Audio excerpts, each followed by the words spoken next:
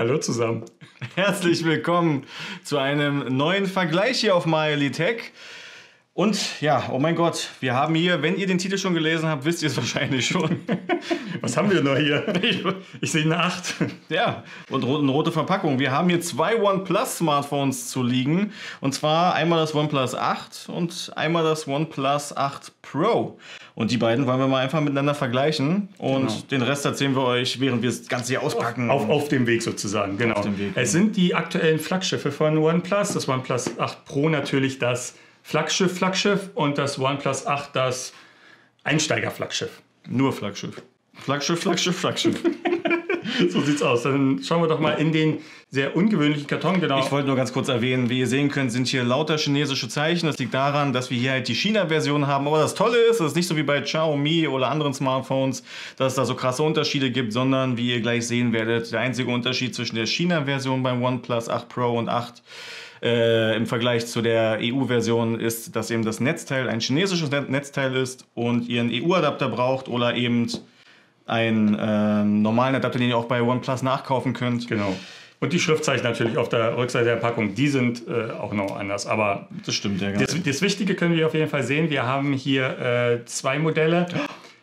Du hast ja doch 12 GB. Wusste ich, ich gar nicht. Ich habe ich hab doch 12 GB. ähm, es gibt jeweils zwei Varianten von beiden. Ähm, sowohl vom OnePlus 8 als auch vom OnePlus 8 Pro. Einmal mit 8 GB internen Speicher und 108, äh, nein, 8 GB RAM und 128 GB internen Speicher oder 12 GB RAM und 256 GB internen Speicher. Was so. mir da gerade schon einfällt, auch wenn wir darüber vielleicht auch erst später reden wollen, aber ich sage es trotzdem jetzt, weil es mir gerade einfällt. Und zwar Unterschied auch noch dabei beim Arbeitsspeicher ist, dass ich hier bei der, bei der Pro-Variante LPDDR5 den neueren Arbeitsspeicher habe und du hast LPDDR4X. LPDDR, so wie auch so ein Zungenbrecher irgendwie. Sehr schön. LPDDR. Okay. Dann mal rein in die Packung. Also ungewöhnliche Packung, da braucht man nicht drüber reden, aber ja, sehr lang, One, sehr lang. Typisch OnePlus. Ähm, das Handy war in Folie. Genau. Äh, spannend, was da noch so alles Schönes drin ist. Ist ja eigentlich auch was drin? Ich, weiß ich glaube ja. Und zwar gibt es ja eine Hülle. Eine Hülle, aber hier Und ist Aufkleber, glaube ich, oder? Hier ist die Hülle nicht drin, sondern genau die One, das OnePlus äh, Zettelwerk.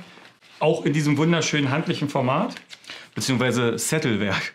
Zettelwerk oh Mann, heute, heute bin ich richtig witzig drauf. Ansonsten haben wir auch noch schöne Aufkleber. Genau, es sind beiden ja. identisch. Habe ich einen 8 Pro Aufkleber? Ich habe nur eine 8, hast du? Ich habe auch. Ich hab, Wo ist das Pro? Vielleicht habe ich die 8 Pro, warte. Ich guck mal. Hm. Einfach nur 8 war. Man musste Pro von selber, äh, selber hinterschreiben. Naja, so ist das. So, ansonsten alles, was Marco auch gerade schon gezeigt hat. Und genau. ich habe hier meine schöne Hülle, du auch. Genau, die sieht minimal anders aus. Der Cutout ist ein bisschen anders, weil wir unterschiedliche Kameramodule haben. Da kommen wir auch gleich noch drauf zu sprechen. Werdet dann sehen, dieses Never Settle ist hier äh, ganz dezent äh, einmal auf der Hülle. Aber ansonsten ist es schon mal schön, dass ja, ein gewisser Schutz einfach in der Packung mit dabei ist, dass man ein Smartphone erstmal sicher durch die ersten Tage bekommt, bis man sich überlegt, ob man es ohne Hülle oder mit einer anderen Hülle verwenden möchte. Ist auf jeden Fall schön, dass einer dabei ist. Die ist jetzt nicht super, super hochwertig. Aber, ja, aber hier der Rahmen und die Kanten sind sogar extra. Dann, dann lass mal tauschen. Ich glaube, bei ja, deine fühlt sich besser Doch, an. ne? Die Pro, die Pro-Hülle mhm. ist äh, proiger. ist halt Flaggschiff, Flaggschiff, Flaggschiff. Genau, das ist nur Flaggschiff. So, also trotzdem Hülle ist dabei, ist es sehr, sehr schön. Und das charakteristische rote Kabel für OnePlus. Meins ist leider irgendwie schon so halb ausgepackt. Es ist ein Testgerät, nicht wundern. Ähm, USB-C auf USB-A. Ganz genau. Und das Schöne ist, beide können, das kriege ich dann nie wieder rein, ähm, beide können 30 Watt Schnellladen über Kabel. Aber, aber, aber, aber, das Flaggschiff, Flaggschiff. Aber das Flaggschiff, Flaggschiff kann das gleiche, auch nochmal kabellos, auch nochmal 30 Watt. Genau, aber dennoch äh, wird es etwas, etwas länger dauern, wenn ihr kabellos ladet, auch wenn es dieselbe Wattanzahl hat. Aber hier wird immer ein bisschen mehr Energie verloren gehen beim Laden. Aber wie gesagt, entweder EU-Adapter, welchen Trading Shenzhen beilegt. Übrigens, was ich ganz vergessen habe oder was wir ganz vergessen haben, die Preise noch. Ja.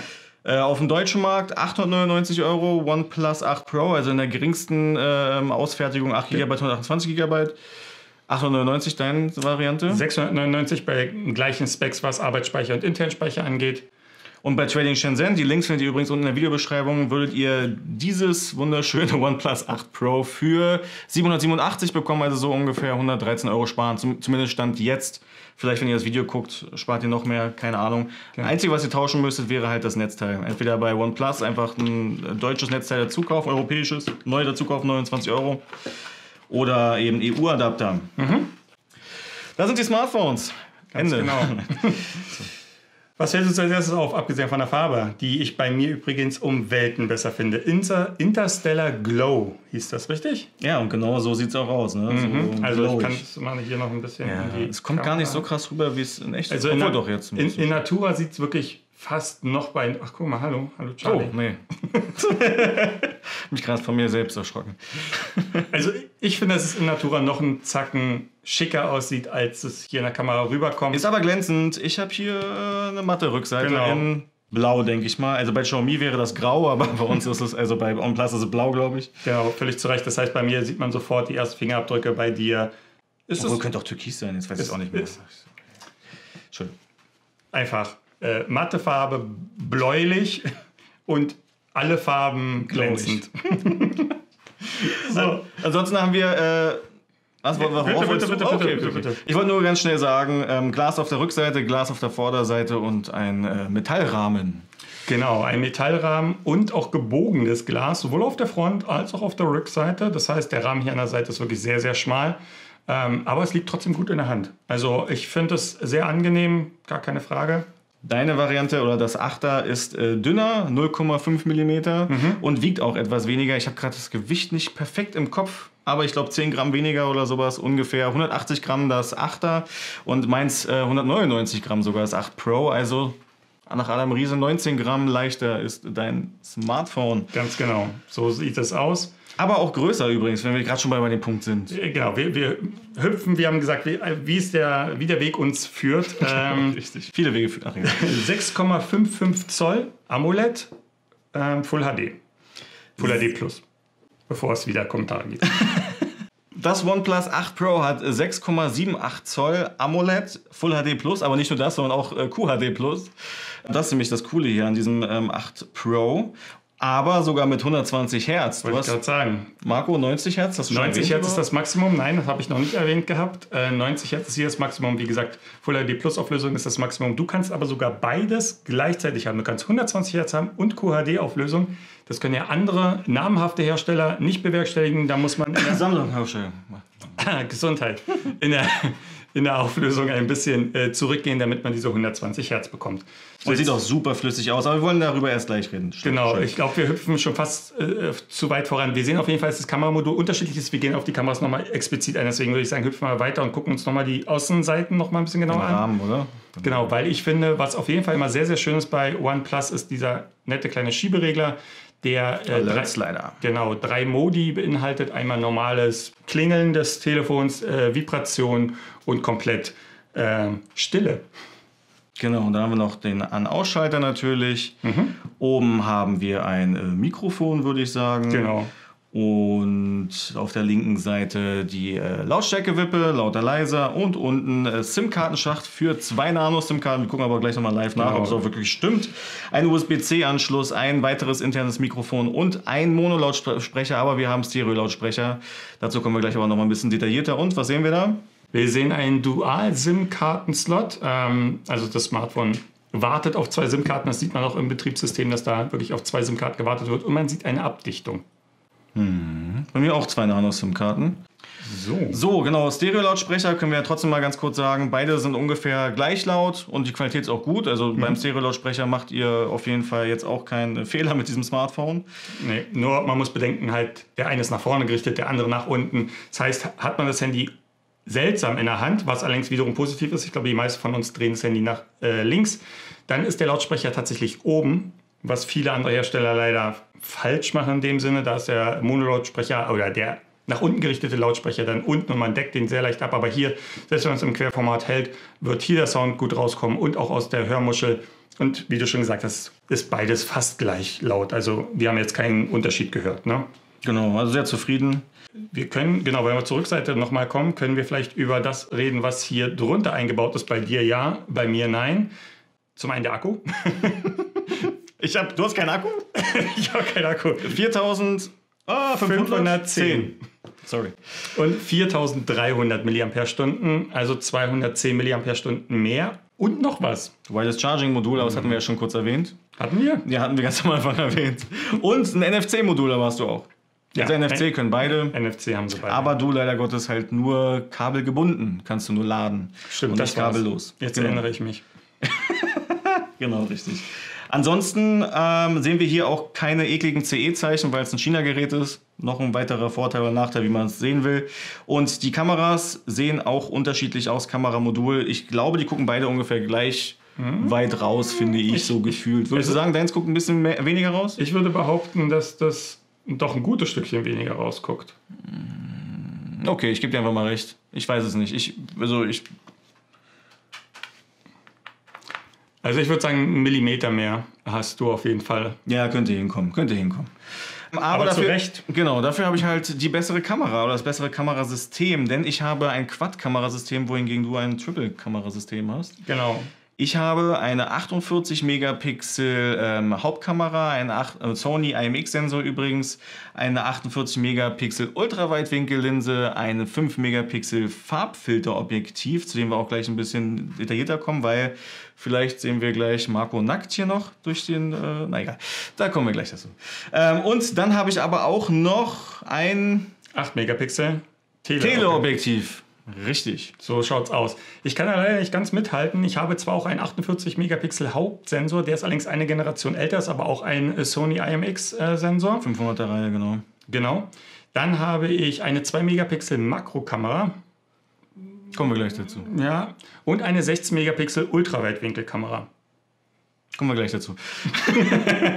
Blitz haben wir beide. Mhm. Und ich habe aber noch einen, ich habe noch den Laser-Autofokus, den du nicht dabei hast. Ganz der, genau. Also ich hoffe, ihr kommt gerade schon mit. Wenn ich sage, Marco, Marco hat wie gesagt das OnePlus 8 und ich habe hier das OnePlus 8 Pro.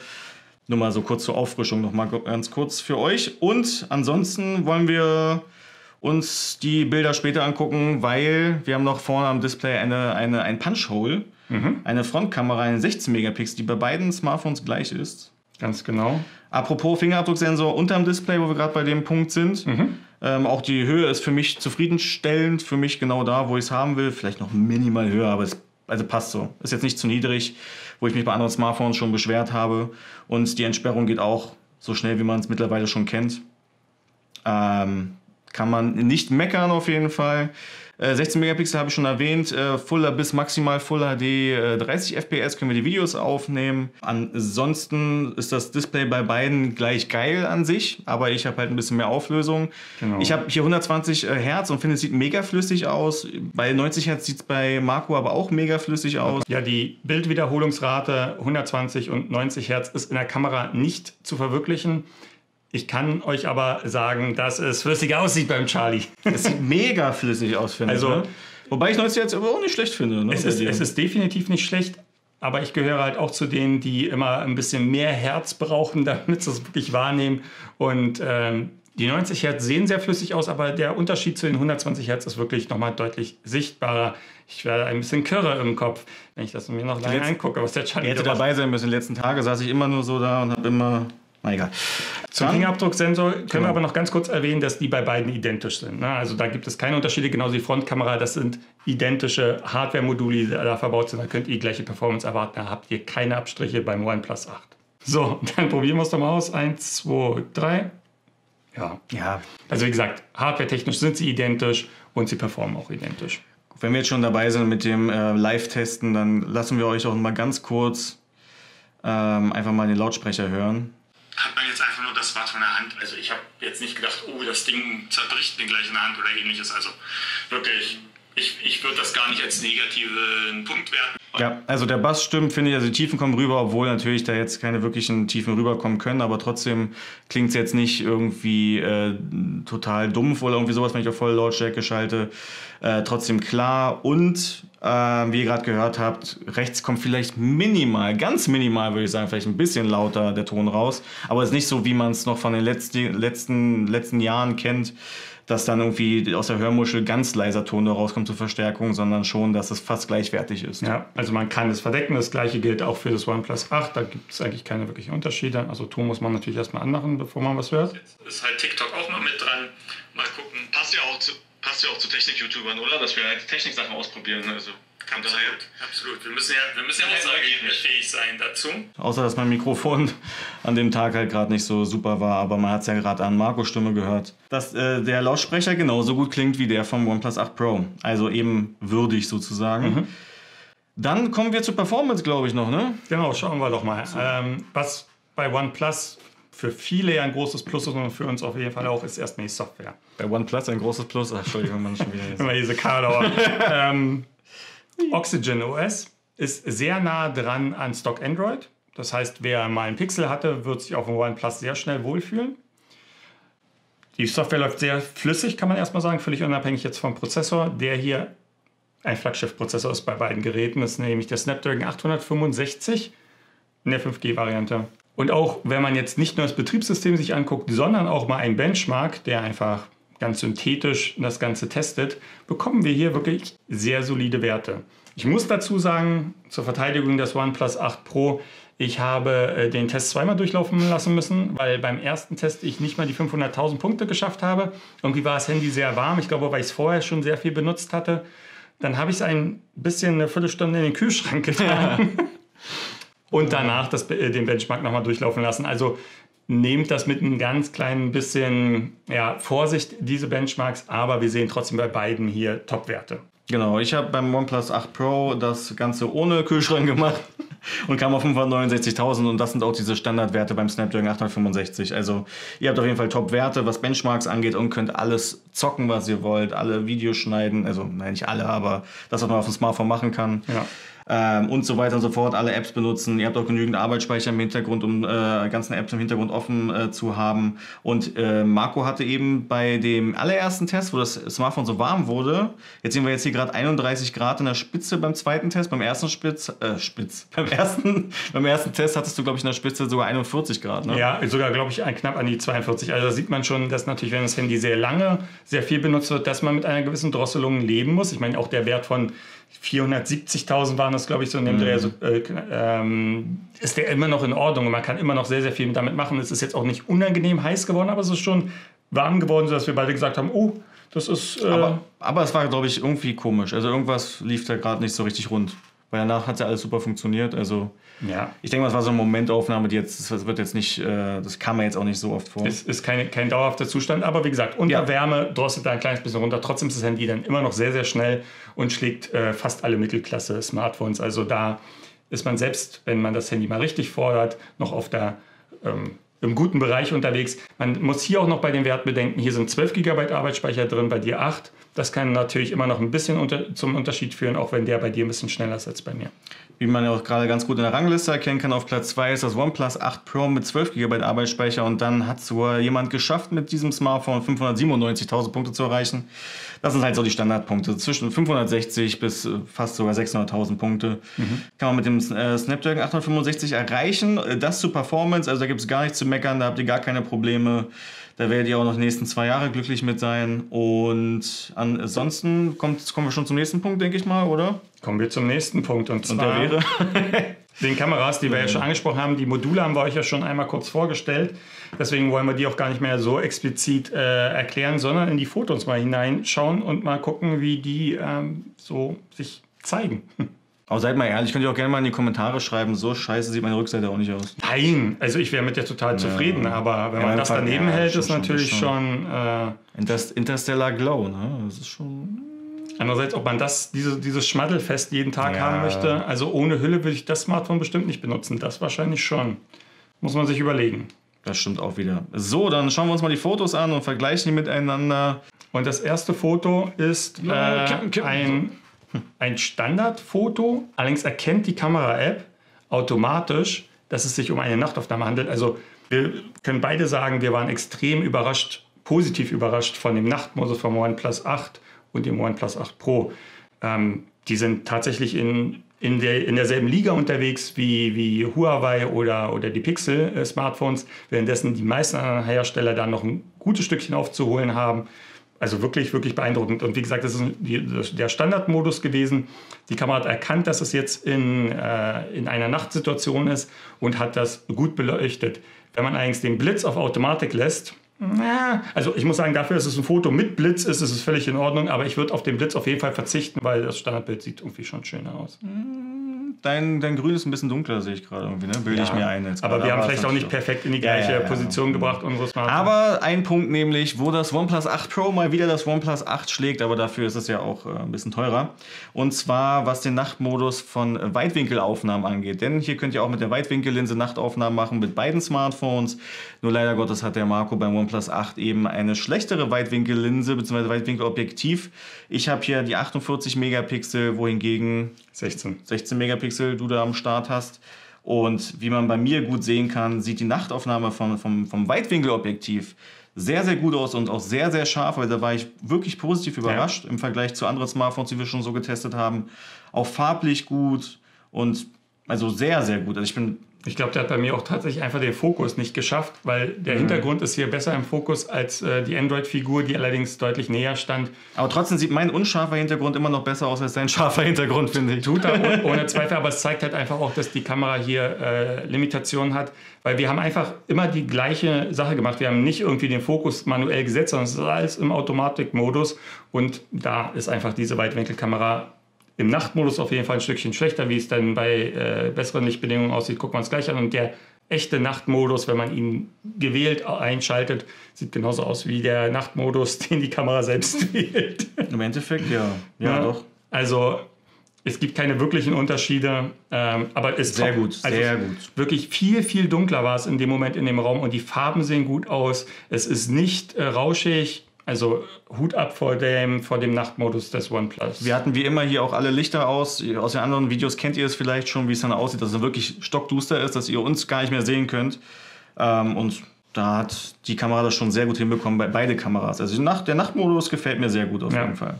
Finde ich auch. Ansonsten habe ich ja genau, ich habe ja noch den, den, das Farbfilterobjektiv, welches das OnePlus 8 Pro nicht hat. Kann man es ein bisschen größer sehen, so rum fast größer. Ähm, und zwar, wie funktioniert der ganze Modus nochmal? In, in, in Kurzzusammenfassung? Hast du gerade? Also äh, genau, es gibt einen speziellen Sensor, das ist, der ist 5 Megapixel Genau, äh, richtig. stark. Ne? Ähm, heißt hier Farbfilter. Äh, Und im Endeffekt, was sehr besonders kann, ist Infrarotstrahlung auch anzeigen bzw. verarbeiten. Äh, normalerweise haben alle Sensoren immer einen Infrarotfilter davor, damit halt die Kameras das gleiche sehen wie wir. Dieser, dieses Kameramodul hat diesen Filter nicht davor und deswegen kann es ein bisschen mehr sehen. Somit kann man zum Beispiel durch bestimmtes Plastik hindurchsehen. Dieses äh, Logitech-Modul hier ist, ist eine Art Hub, um äh, den Fernseher und so weiter zu steuern. Also äh, Infrarotstrahlung durchzulassen, weil da sind Infrarot... Ähm, Sensoren, nicht Sensoren, sondern Blaster. Ja. Infrarotblaster drin, die halt euren, euren Fernseher oder eure Stereoanlage steuern können. Und deswegen kann die Kamera da durchgucken. Das ist sonst für unser Auge einfach komplett schwarzes Plastik, glänzendes schwarzes Plastik, aber die Kamera kann da durchgucken. Man braucht allerdings gutes Licht. Also wir haben von der Seite ordentlich Licht rein äh, projiziert, damit man es erkennt. Ist jetzt auch nicht das schönste Bild, aber man sieht, man kann durch trotzdem kann- durchgucken. Genau, und wir hatten, ich weiß nicht, also wir haben es äh, auch nach anderen YouTube-Videos gesehen, dass man wohl auch so ein bisschen durch dunkle äh, T-Shirts so ein bisschen durchsehen kann wohl. Also aber jetzt nicht, dass man die Haut sieht, aber wenn derjenige dann doch ein anderes T-Shirt anhat mit einem Logo zum Beispiel darunter, dann kann man so ein bisschen das Logo erahnen. Ähm, und man kann halt da so ein bisschen mit rumspielen, aber wie man es, also ich, hoffe, ihr könnt es ganz gut erkennen. Wir blenden es wahrscheinlich auch nochmal ein, dass man jetzt halt hier wirklich so das Mainboard darunter sehen kann oder die, die Chips halt hier so irgendwie. Ähm, und das heißt, ihr könnt mit dem OnePlus 8 Pro sogar so ein bisschen äh, Gegenstände, Plastik, Kunststoffgegenstände durchsichtig machen und wirklich so ein bisschen, ähm, ja, Funktioniert aber nicht bei jedem Material. Nee. ne? also nicht, dass ihr jetzt durch jede Tupperdose noch nicht. durchschauen könnt, aber durch äh, Plastik, was dafür gemacht ist, um Infrarotstrahlung durchzulassen, funktioniert es. Das, wenn man das Bild einfach mal in den Garten hinaushält, also Sieht da, mega aus, finde ich schön. Genau, da wo sonst grün ist, sieht man auf einmal das Ganze in diesem ja, orange, gelb, ocker, keine Ahnung, wie man das nennt. Ein bisschen so Endzeitstimmung, Ja. Western, Western-Stimmung. Du hast, oder du hast den Rasen einfach nicht ge, äh, gegossen. Ne? Es ist kein Wasser. Aber wir sehen ja später noch Fotos vom Garten, wo es zum Glück anders aussieht. Ähm, Aber der Himmel und so Genau, also we- wenn man mal ohne einen klassischen Filter äh, seine Bilder ganz besonders aussehen lassen möchte, kann man mit dieser Kamera wirklich beeindruckende Bilder erzeugen. Natürlich muss man hier auf Spezialfunktionen wie 48 Megapixel verzichten und man hat auch keinen optischen Zoom oder ähnliches. Aber auch diese 5 Megapixel Bilder, die sind einfach so ein Hingucker, ohne dass man jetzt damit was macht. Das ist einfach wirklich die Kamera rausgehalten, Foto gemacht und das ist das Ergebnis. Und ich finde, das sieht, sieht wirklich beeindruckend aus. Und ähm, ich finde es sehr, sehr cool, dass hier mal sowas eingebaut wurde. Ist eine interessante Spielerei. Ich würde mir wünschen, dass wenn immer mehr Kameras auf die Rückseite kommen, dass eher solche Kameras verbaut werden als irgendwelche Tiefensensoren, die äh, man eh nicht nutzen kann. Ja, mir fällt auch gerade kein anderes Smartphone ein, welches so ein Farbfilter, zumindest ist mein erster Farbfilter mein erstes Farbfilterobjektiv. Ansonsten sind wir jetzt schon bei den Videos angelangt. Ah ne, bei Zeitlupe, genau, stimmt. Wir haben hier nämlich einen Zeitlupenmodus bei beiden Smartphones, auch das gleiche. Und zwar Full HD bei 240 FPS und äh, HD bei 480 FPS. Ganz genau. 720p. Jetzt fliegt der Marco einfach auf die Nase. einfach um mir fallen. Einfach so um mir fallen. Ja, ganz spontan im Garten. hat mich einfach dahin gerafft. Bin über eine Fliege gestolpert. ich versuche den Ton nachzumachen. Genau, also ich muss sagen, ja. für ähm, HD 720p sieht das wirklich völlig okay aus. Können wir gut mitleben, oder? Es gibt aber auch andere Hersteller, die schon ein bisschen mehr können. 960 FPS zum Beispiel. Richtig, aber ich muss sagen, das ist die Qualität meistens so schlecht, dass ich es mir nicht angucken möchte. Meistens. Nicht immer. Ja, hier war ja auch sehr viel Licht am Start, weil wir das haben stimmt. jetzt einen schönen sonnigen Tag gehabt. Ich, ich irgendwie auch nicht. Lass mal zurück. Und dann gehen wir zu den 1080p 200, was ich schon 40. 40 FPS. Genau. Das sollte ein bisschen schneller sein. Bisschen schneller die Rolle hier vonstatten gehen. Ne? Okay. Sieht trotzdem sehr schön langsam aus. Mhm. Gefällt mir von der Qualität besser, ist ja auch kein Wunder, mhm. weil wir hier Full HD haben. Ja, und ist trotzdem ein schöner Effekt. Also man braucht ja. nicht immer 960 Bilder. Ich muss sagen, ich würde wahrscheinlich auf bessere Videoqualität zurückgreifen und dann lieber ein paar Frames weniger haben. Kommt natürlich immer darauf an, was man jetzt gerade abfilmt. Wenn man irgendwie natürlich ein Insekt abfilmen möchte, braucht man viele Frames pro Sekunde. Wenn man jetzt hier äh, mich, währenddessen ich mir langsam über den Rasen rolle, äh, da, da reicht äh, dann auch mal 120, nein, 240 oder 480. Bilder pro Sekunde. Genau, richtig. Ich würde auch zu der besseren Qualität greifen. Und dann haben wir auch Porträtaufnahmen gemacht, beziehungsweise auch Frontkameraaufnahmen. Aber fangen wir erstmal mit den Porträtaufnahmen an. Mhm. Ähm, es gibt zwei Modis, entweder Weitwinkelporträt oder normal, quasi einfach Porträtaufnahmen. Genau. Und du, du hast jetzt auch die Weitwinkel. Das ist Weitwinkel. Genau. Und sieht gut aus, oder? Ich zoome mal kurz ein bisschen ran. Ja, also jo. ich bin auch mit dem Cutout echt zufrieden. Ich auch.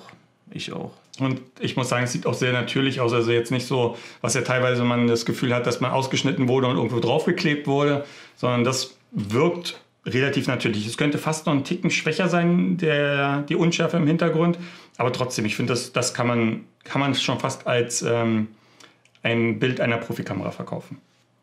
So, und äh, dann noch das Porträt mal mit der normalen Kamera, das eben war ja Weitwinkel. Auch hier ähm, sieht das wirklich sehr natürlich aus. Hier ist die Unschärfe jetzt nicht so extrem wie eben zuvor. Das ist aber auch völlig okay. Und auch der Cutout, doch, passt bei mir und bei dir. Ich finde, ich find ganz ehrlich, es sieht sehr gut aus. Irgendwie finde ich jetzt auch so deine Haut und alles. Ich finde das Foto richtig gut gerade. Ne? Ja, also ich bin mit den Fotos auch wirklich sehr zufrieden. Ich bin schon so ein bisschen in das OnePlus 8 hier äh, verliebt, glaube ich. Ja, also, also die Kamera gefällt mir sehr gut. Die Software, die OnePlus hier hinter diese sehr guten Sensoren gepackt hat, die erfüllen halt auch ihr Soll das ist ja oftmals das, wo es bei Smartphones dann schnell hapert und ich muss sagen, das funktioniert hier wirklich gut. Das Blau meines Hemds hat, hat das OnePlus 8 äh, oder auch das 8 Pro ein bisschen verstärkt gerne mal, aber das kennt man ja auch so. Ja, ähm, das ist ja bei Blautönen wird ja generell ein bisschen gepusht. Liegt sicherlich auch daran, dass der Himmel hier vielleicht ein Ticken blauer aussieht als in Naturas, aber jetzt auch nicht so extrem, dass es völlig unnatürlich aussieht. Genau, sieht sehr, sehr schön aus. Dann kümmern wir uns jetzt auch noch um äh, die Zoom-Geschichte. Und zwar habe ich ja hier beim OnePlus 8 Pro ein Teleobjektiv verbaut und kann 30-fach digital heranzoomen, wohingegen Marco mit dem OnePlus 8 10-fach heranzoomen kann. Mhm. Und wie ihr sehen könnt, kann ich halt einfach ein Stückchen näher ran. Aber ich finde auch fast, dass das 30-fach fast noch einen Ticken schärfer aussieht als das 10-fach. Also ja. ähm, ich finde, man kann hier noch Feinheiten meiner, meiner Haut erkennen, während das, das hier definitiv nicht der Fall ist, ja. wenn ich versuche noch ein bisschen reinzuzoomen. Also, die Hauttöne sehen irgendwie sogar auch irgendwie farblich, finde ich. Ja, auch. also hier gibt es einen automatischen Glättungseffekt natürlich, weil einfach digital dann ja, ein bisschen matschig wird. Es fehlt halt das Teleobjektiv, das ist ein rein digitaler Zoom von Anfang an. Du hast ja wenigstens zweifach, äh, zweifach optischen Zoom, dreifach Hybrid-Zoom direkt und kannst halt bis zu 30-fach hineinzoomen. Und übrigens, das Teleobjektiv hat auch eine optische Bildstabilisierung. Beide Hauptkameras haben aber auch eine optische Bildstabilisierung. Mhm. Aber wir haben hier halt beim OnePlus 8 Pro noch eine mehr im Teleobjektiv. Und äh, dann haben wir auch noch Fotos gemacht mit dem Zweifach Digitalzoom. Beim OnePlus 8 gibt es halt nur Digitalzoom. Du hast allerdings halt auch noch den Dreifach Hybrid-Zoom genutzt. Das ist eine direkte Option und der auch wirklich verlustfrei fast hineinzoomen kann. Es ist ein Hybrid-Zoom. Und man sieht auch hier schon wieder, dass du mehr Details erhalten kannst als ähm, der rein digitale Zoom, der hier beim OnePlus 8 der verwendet wird. Und dann sind wir jetzt auch schon bei dem Videomodus angelangt. Hier haben wir oder beziehungsweise ich einfach mal äh, auch Videos bis, bis, bis maximal 1080p 30 fps aufgenommen mit beiden Smartphones und einfach mal geguckt. Hier gibt es auch einen festen Fokus, also jetzt kein äh, Autofokus, sondern hier ist alles, sitzt alles perfekt im Fokus und ich finde sogar von der, da ist jetzt zwar nur eine elektronische Stabilisierung mit am Start, aber trotzdem sieht es gar nicht so. Ja, also, also sieht irgendwie ganz gut aus eigentlich, ja, auch von der Stabilisierung her. Für die 16 Megapixel Frontkamera ist das wirklich völlig in Ordnung. Also ich finde das, finde das, also wer vloggen möchte damit äh, oder vielleicht für irgendwelche Social Media Kanäle mit ein Video aufnehmen möchte, ich würde das so machen. Ja. Genau. Ich habe noch ein paar Selfies gemacht. Mhm. Sieht auch ganz gut aus finde ich jetzt nichts Negatives dran, außer dass die Sonne mich extrem geblendet hat, aber es war halt auch viel Licht da, ne? also von ja. daher. Ähm, Optimale Bedingungen, aber genau. wir müssen den Kameras ja auch alle Chancen einräumen, gut zu performen und das können sie auf jeden Fall. Nachtmodus hat ja wie gesagt auch gut funktioniert. Dann bin, sind wir jetzt auch schon beim Makromodus angelangt. Und zwar wird hier das, äh, das, das Ultraweitwinkelobjektiv beim OnePlus 8 Pro genutzt dafür.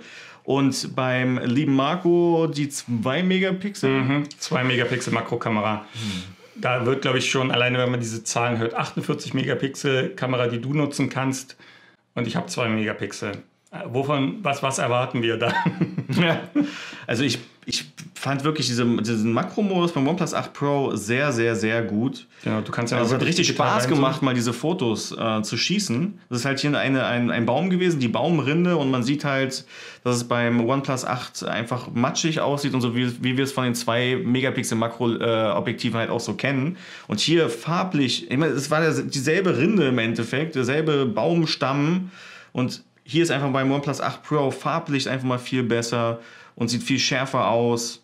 Äh, natürlich hat man auch manchmal Pech gehabt und hat jetzt hier nicht äh, Fokus gekriegt, aber auch hier, das sieht einfach, ja. also vom Makromodus bin ich sehr, sehr positiv mal wieder überrascht, wie auch vom Nachtmodus. Mhm. Ich habe auch ein paar, ein paar, Mal versucht, ein paar Ameisen zu treffen, aber hat nicht. Auch hier sieht aus wie, jetzt keine Ahnung, als wenn das könnte auch von oben Vogelperspektive äh, auf dem Mond sein oder was ich weiß, oder auf, einem, auf irgendeinem anderen fremden Planeten. Genau, ich würde sagen, irgendwelche außerirdischen Welten. Ja. Also die 2 Megapixel Makrokamera, wer jetzt wirklich Makrobilder liebt, wird sich vielleicht trotzdem mal freuen, das überhaupt machen zu können im OnePlus 8. Aber die 48 Megapixel Ultraweitwinkelkamera im OnePlus 8 Pro macht da einen so viel besseren Job. Das ist wirklich beeindruckend. Ja. Nun schauen wir uns auch noch die Stabilisierung an, von der wir gerade schon so ein bisschen geredet haben. Und zwar gibt es auch eine äh, super tolle Superstabilisierung. Den, der Name immer Superstabilisierung, aber ist es halt ja, immer. Äh, so, so stabil, das glaubt ihr gar nicht. Sogar bis 4K 30 FPS. Das sieht man jetzt auch nicht so oft. Absolut. Also bis 1080p sind wir es ja wirklich schon gewohnt, dass da die Stabilisierung sehr, sehr überzeugend ist. 4K 30, dann gucken Schauen wir doch mal. mal.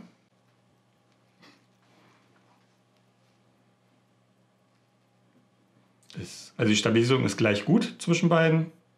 Ja, top. Jo. Also für 4K 30 FPS. Ähm, ist super stabil. Ja, also das können sonst wirklich nur gute Action-Cams. Was mache ich denn dann?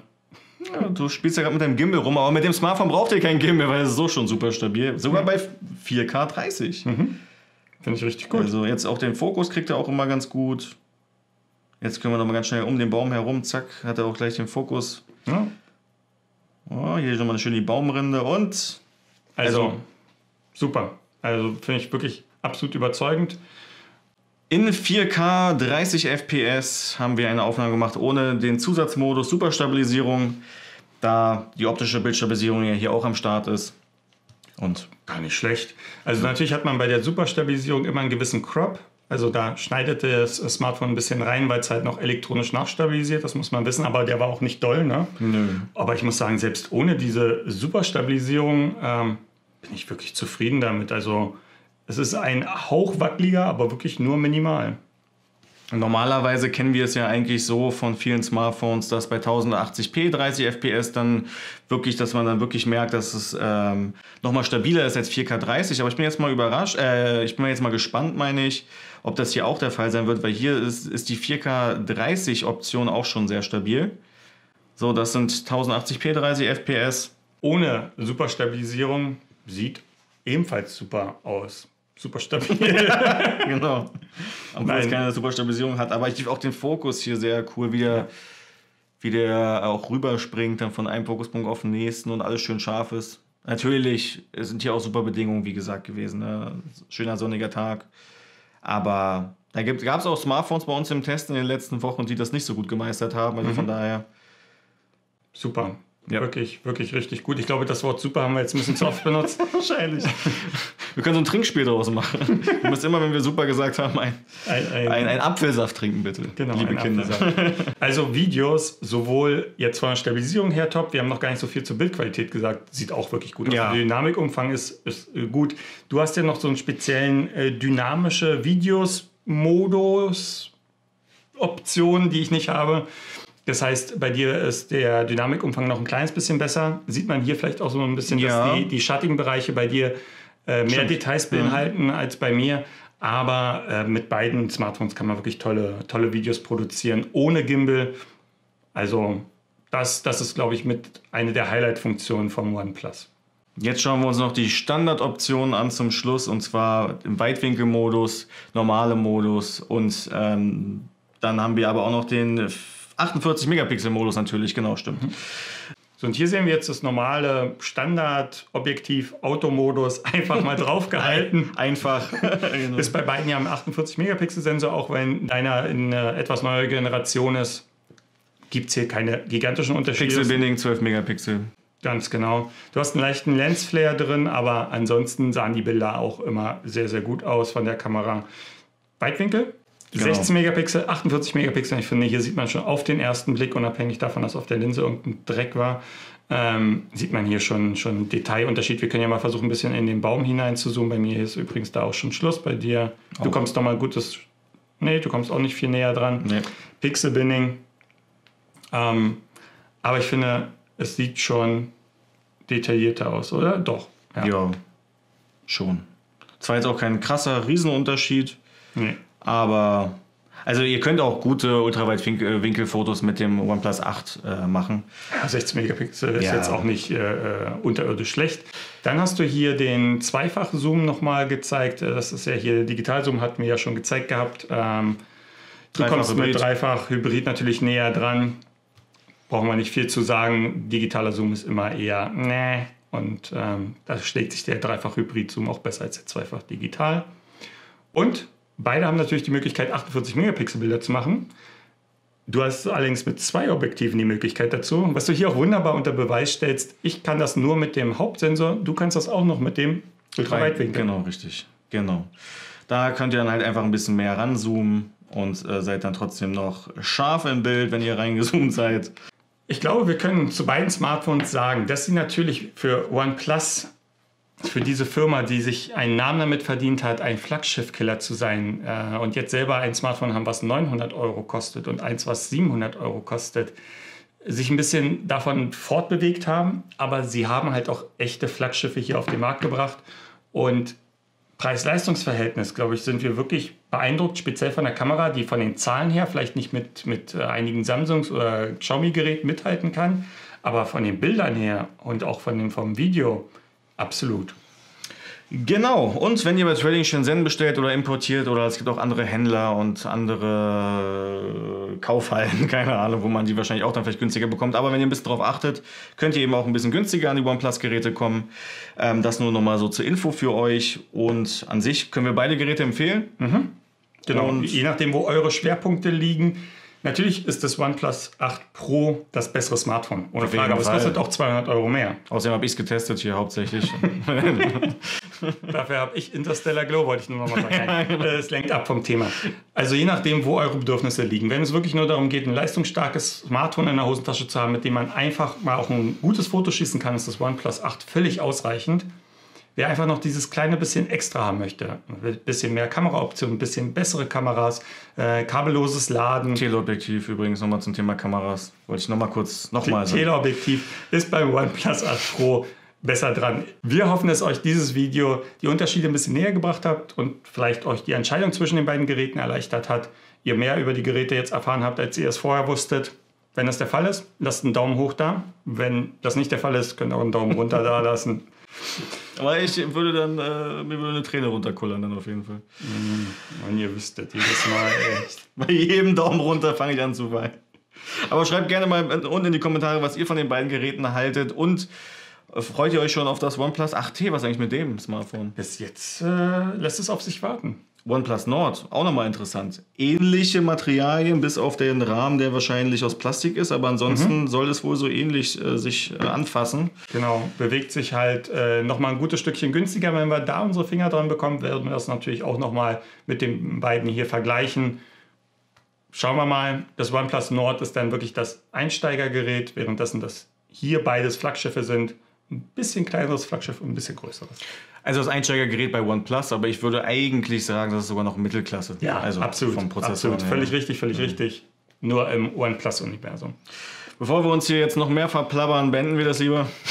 Und wir hoffen, dass ihr das Video interessant fandet. Und wir hoffen auch, dass ihr demnächst wieder einschaltet, wenn es wieder heißt, Maya Litek ist am Start. Genau. Macht's gut. Bis dann, ciao. Ich laber immer so viel Scheiße manchmal, ja, unfassbar. Alles okay?